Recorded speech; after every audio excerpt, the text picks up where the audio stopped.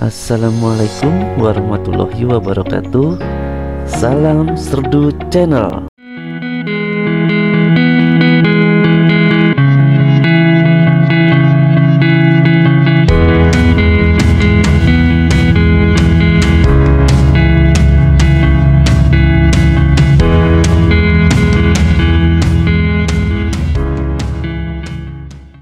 Baik anak-anakku, kita kembali bersama lagi dengan Pak Riptono dalam pembelajaran di tema 7 subtema 2 pemimpin idolaku memasuki pembelajaran ketiga. Baik anak-anak, mari kita belajar sama-sama. Baik anak-anakku yang hebat dan luar biasa, tetap semangat ya. Nah, fokus pembelajaran kali ini pada pelajaran Bahasa Indonesia, PPKN, dan IPS. Baik, tujuan pembelajaran. satu, Melalui kegiatan mengamati dan berdiskusi, siswa mampu mengidentifikasi nilai-nilai persatuan dan kerakyatan dalam kehidupan dengan benar. Dua, melalui kegiatan mengamati dan penugasan, siswa mampu menuliskan contoh-contoh penerapan nilai-nilai kerakyatan dengan benar. Ketiga, melalui kegiatan penugasan, siswa mampu mengidentifikasi peran Indonesia dalam bidang sosial di ASEAN dengan benar. Empat, melalui kegiatan penugasan, siswa terampil membuat rancangan pidato. Itulah tujuan pembelajarannya anak-anakku. Pemimpin yang baik akan memperhatikan kepentingan seluruh anggota yang dipimpinnya. Pemimpin yang baik juga akan selalu mengajak anggotanya berbuat baik. Ayo membaca. Wilayah Indonesia sangat luas, dari Sabang hingga Merauke. Bangsa Indonesia adalah bangsa yang majemuk karena terdiri dari berbagai macam suku, bahasa, agama, adat istiadat, serta kebiasaan yang berbeda-beda. Bagaimana kita mempertahankan persatuan dan kesatuan? Banyak caranya anak-anakku. Ayo kita belajar dari cerita berikut ini. Anak-anakku, baca juga ya. Kepala sekolahku, pemimpin idolaku. Termenung Paweli memandang brosur di hadapannya.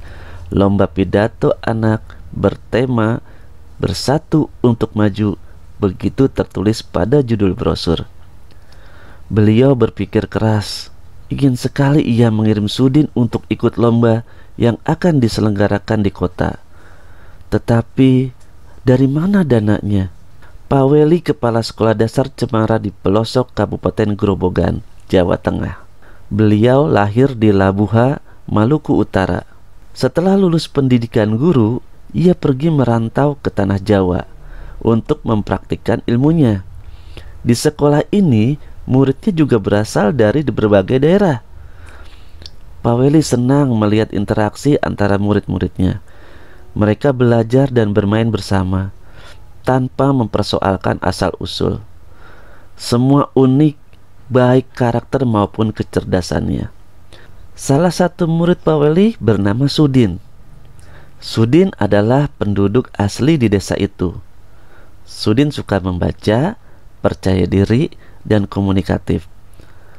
Pak Weli ingin Sudin memperoleh pengalaman berharga melalui lomba pidato. Sambil berpikir cara memperoleh dana, Pak Weli mendaftarkan Sudin sebagai peserta lomba. Ia sendiri yang turun tangan melatih Sudin tiap usai sekolah. Semakin mendekati hari perlombaan, Pak Weli risau.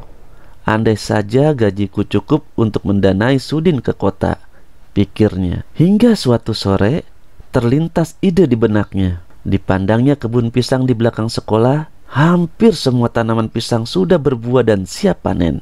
Esok paginya, Pak Weli membicarakan idenya dengan para guru. Mereka bermusyawarah mewujudkan ide Pak Weli. Setelah dicapai kesepakatan, Pak Weli mengerahkan guru penjaga sekolah, serta murid kelas 5 dan 6. Mereka bergotong royong memanen pisang. Kemudian, di hari Senin pagi, Pak Weli mengundang pejabat setempat untuk hadir pada upacara bendera. Bapak Bupati, Bapak Camat, Bapak Lurah, Kepala Dinas Pendidikan, serta Ketua RW dan Ketua RT dimintanya datang. Apa yang direncanakan Pak Weli? Rupanya Pak Weli ingin menyelenggarakan lelang pisang di sekolah. Murid kelas 5 dan 6 sudah dilatihnya untuk menjadi petugas lelang. Siapa calon pembelinya? Pembelinya adalah para bapak dan ibu pejabat daerah yang hari itu diundang datang ke sekolah. Sebelum lelang dimulai, Pak Weli menyampaikan bahwa uang yang diperoleh dari hasil lelang pada hari itu akan digunakan untuk mengirim Sudin mengikuti lomba pidato di kota. Para pejabat yang hadir merasa kagum dan terharu menyaksikan usaha Pak Weli, sang kepala sekolah dari timur negeri. Tekad dan usahanya mendukung kemajuan muridnya sungguh menyentuh hati.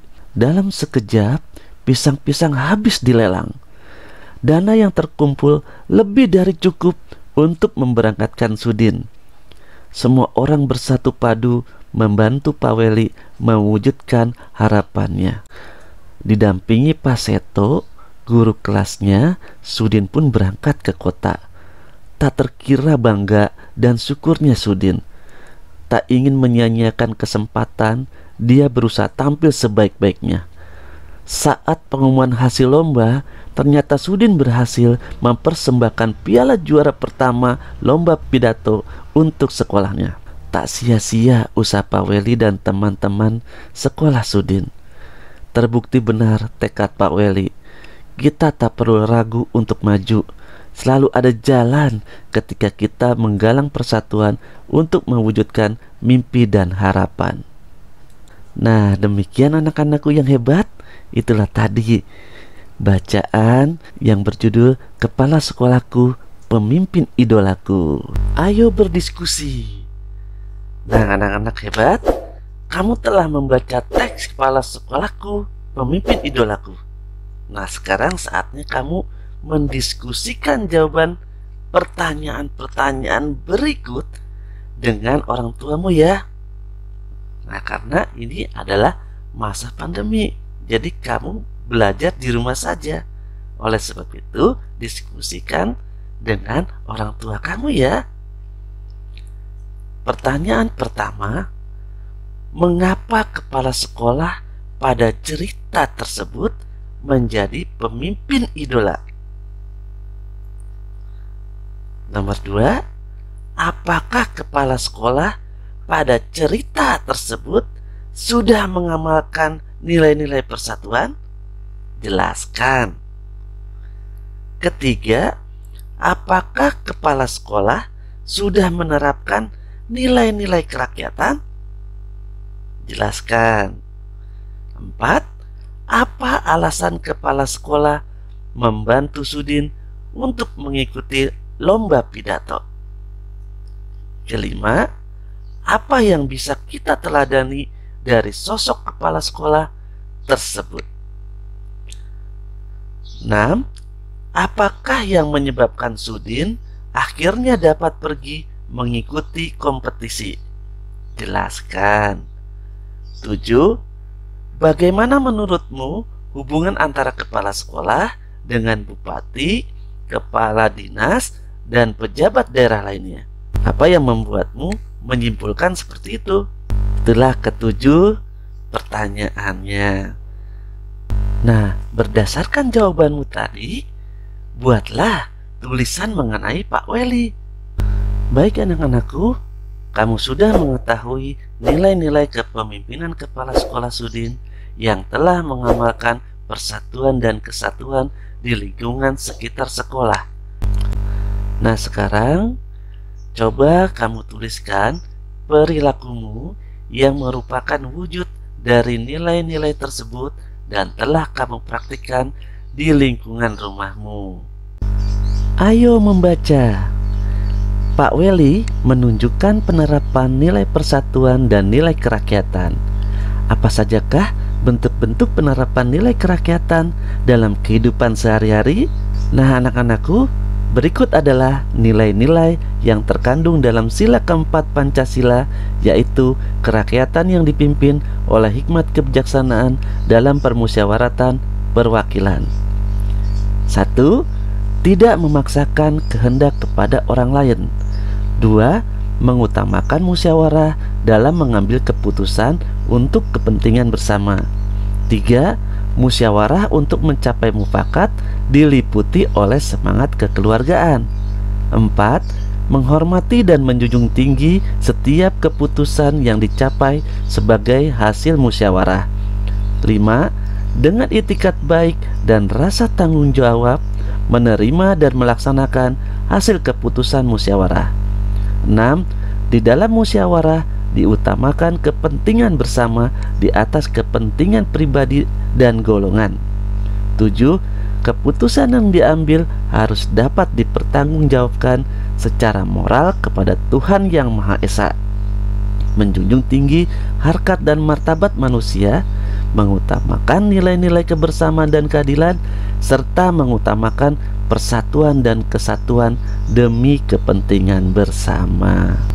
Ayo menulis, tuliskanlah contoh-contoh penerapan nilai-nilai kerakyatan dalam kehidupan sehari-hari.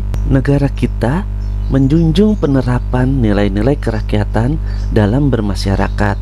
Bagaimana hubungan kita dengan negara lain? Negara kita selalu berusaha menjaga hubungan baik dengan negara-negara lain, termasuk di Asia Tenggara. Ayo mencoba! Nah, anak-anakku yang hebat dan luar biasa, carilah informasi mengenai peran Indonesia di ASEAN dalam berbagai bidang berikut. Satu, pendidikan. Dua, pangan. Tiga, sosial. Empat, kesehatan. Dan lima, pariwisata. Nah, anak-anakku yang luar biasa, Coba kamu tuliskan hasil laporanmu dalam bentuk yang menarik. Kamu dapat membuatnya dalam bentuk paparan atau diagram. Kamu pasti bisa. Ayo menulis.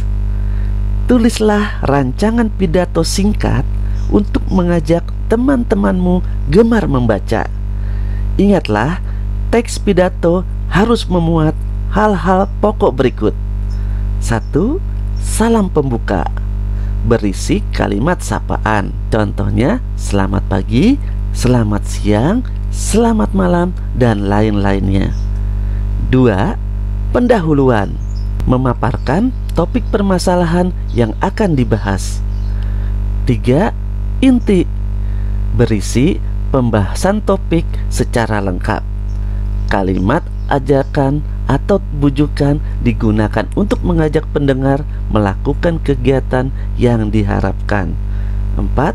Penutup Penyampaian rangkuman atau intisari topik yang telah disampaikan 5. Salam penutup yang berisi kalimat salam penutup seperti terima kasih Dikerjakan ya Ayo renungkan apa yang telah kamu pelajari hari ini Pengetahuan apa yang dapat kumanfaatkan dalam kehidupanku sehari-hari?